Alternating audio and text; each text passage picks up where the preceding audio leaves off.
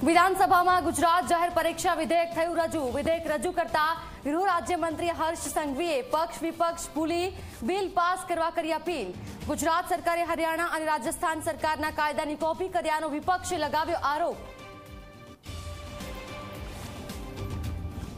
ભાવનગર જિલ્લાની સિંહોર નગરપાલિકાએ દેવાળું ફૂક્યું નગરપાલિકાએ કરોડો રૂપિયાનું વીજ બિલ ન ભરતા વોટર વર્કર શાખાનું વીજ કનેક્શન કપાયું પાલિકાના પાપે હવે લોકોને રહેવું પડશે તરસ્યું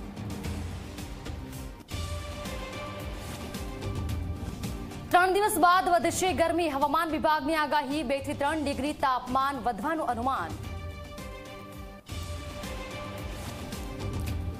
બનાસકાંઠાના સુઈ ગામના રડકા નજીક આવેલી ભટાસણા માઇનર કેનાલમાં પડ્યું ત્રીસ ફૂટનું ગાબડું. ભારતમાલા પ્રોજેક્ટના કોન્ટ્રાક્ટરની બેદરકારીથી ગાબડું પડ્યાનો ખેડૂતોનો આરોપ.